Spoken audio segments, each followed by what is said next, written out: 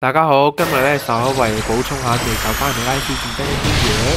其实呢场战争咧无论前集开唔开火，一样都会开始，但发生时间会有支持，至于边个赢呢，我就唔知啦。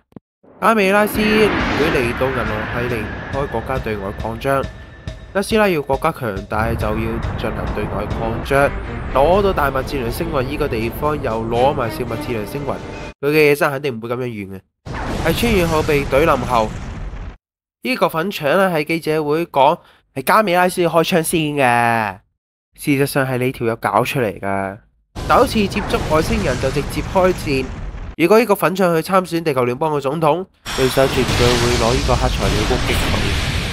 出云计划俾大和计划取代后，参与出云计划嘅士兵就认为大和计划实行可能性低，就喺十六集里边嘅北里拉星发动暴乱，之后就被镇压。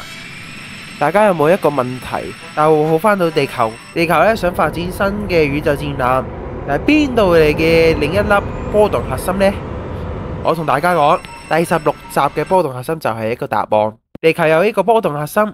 下大和号冇核心启动人擎保护唔到地球，又可以进行逆向工程，疯狂复制波动核心同埋波动引擎，哈哈哈哈！抗军喺地球加美拉斯战争爆发前后，加美拉斯个国家咧自身已经出现问题噶啦。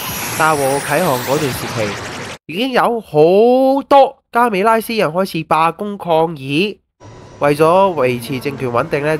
德师奶就派咗基姆莱呢条扑去处理捉人、捉人同捉人，从来都唔系根源上解决问题。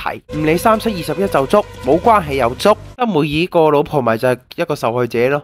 嗰啲捉人嗰啲加美拉斯警察同盖世太保冇分别嘅啫。喺呢场战争里边，大把人不幸。